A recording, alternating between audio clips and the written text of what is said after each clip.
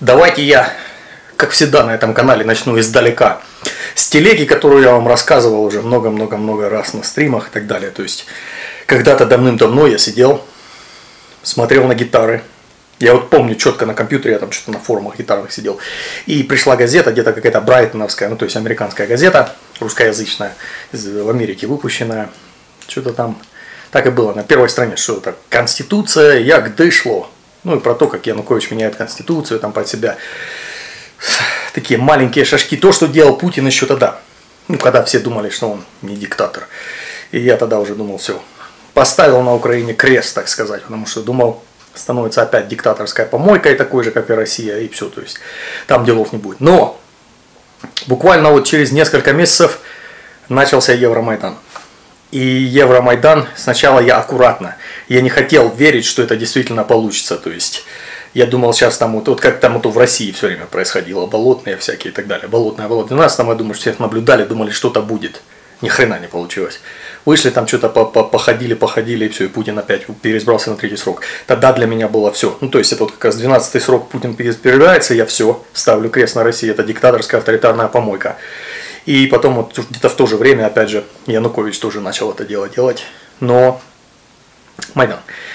Я душой и сердцем болел э, за победу Майдана и так далее. Когда там переходили уже, э, опять же, в ноябре, когда детей побили, то есть когда уже никого там практически не было, только студенты стояли и отдали, отдал Янукович приказ, то есть полностью его зачистить, пришли туда.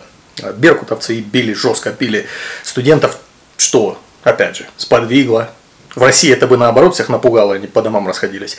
В Украине на следующий день приехали уже ребята посерьезнее. То есть приехал правый сектор, уже приехали все те, и вот началась вот такая вот да, телега, что показывает, как настоящий украинский патриот мочит беркутовца цепью, и они пишут, да что ж вы говорили, не бейте, вы не ждите. Они говорили, вы не ждите, когда студентов действительно били, а уже после того, как студентов побили, сами нарвались, и приехали уже ребята посерьезнее, и Майдан вышел на финишную прямую до победного конца, так сказать. И Майдан победил.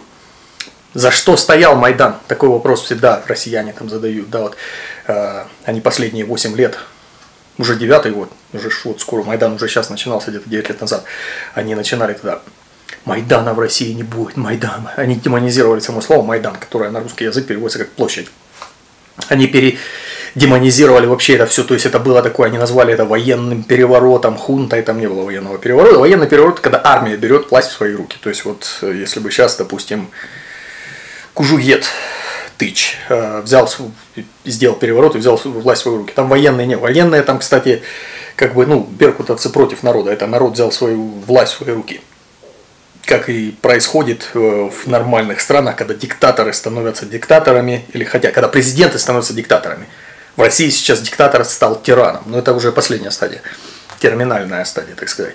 Так вот, я на примере сейчас, да, такой подводка, на примере вот этого радостного для Украины, героям слава, события освобождения украинских героев из российского плена и обмен, да. Но обмен там какой состоялся? Что-то 217 на 87, я не помню точно, но неравноценный обмен. То есть там по фабриках вот этих залупных российских начали там типа как так? Да вот так. И сейчас вы, может, поймете, за что стоял Майдан. А, назовите мне хоть одного героя или вообще хоть какого-нибудь, что-нибудь, вот, вот кого-нибудь с именем, кого освободила Россия вот в этом обмене. Кроме украинца, предателя Украины, коллаборанта э, Медведчука. Не назовете. Украинцы могут назвать сейчас как минимум пять героев лидеров полка Азов, морпехов, которые с азовцами присоединились тогда и держали оборону Азов стали. Это люди, которых в честь которых будут называть улицы в освобожденном Мариуполе, когда его освободят от, от э, российских оккупантов. Это то, что хотел украинский народ от президента. Я уверен, что Зеленский хотел бы повесить за яйца Медведчука. То есть чисто как потому, что все, что Медведчук говорил, как он говорил, там, что Зеленский это марионетка, что там внешнее, внешнее управление. Да? То есть я, я уверен, Зеленский хотел его взять и повесить, сделать такую прям, ну вот совсем, для всех своих внутренних врагов, для всех своих политических врагов, сделать с Медведчука такой красивейший пример, то есть вот что будет с вами со всеми, всем, кто там пытается как-то против Зеленского, я уверен. Да, он сделал то, что хотел народ. Народ хотел освободить своих героев. Медведчук он нахрен не всрался. Потому что, ну кто, все, он уже использованный гандон, так сказать, в, в Украине. В России. Ну кум, не кум там и так далее. России зачем нужен был Медведчук? Тут понятно всем. Путин своих не бросает. Своих именно не россиян. Россиянам пофиг. Опять же, он обменял один к двум, считай. То есть э, российские солдаты остались сидеть в плену, когда Медведчук приехал обратно. И отдали всех тех, из кого хотели сделать такое зрелище, судилище и все. Сделали судилище. Наварили клеток. Сделали? Нет, потому что Путин, он диктатор. Ему насрать на вас всех. На вас всех. Абсолютно. Какими вы бы не были, как возмущались бы или нет, это он будет делать так, как ему хочется, а не так, как вам. Украине, потому что Майдан стоял за то, чтобы не было этого в Украине. Украине президент отныне и во веки веков будет делать только так, как с него потребует народ. Да, он может попытаться как-то извильнуться и так далее, но это опять же, как только народ станет единым фронтом, все. Народ единым фронтом. Назовите мне хоть одного россиянина, который, которому вот еще неделю назад сказали, мы обвиняем, обменяем Медведчука на всех, на всех азовцев, которых там хотели, и причем на самых-самых главных, тех, которых имена знаете, даже вы, россияне все.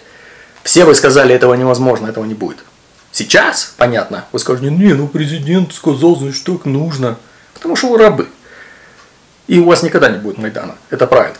Вы не сможете сделать то, что сделали украинцы.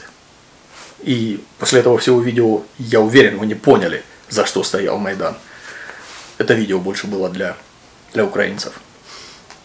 Показать, что вы все сделали правильно. Слава Украине! Героям слава! Верьте ЗСУ! іншим богам своїм за нами є воля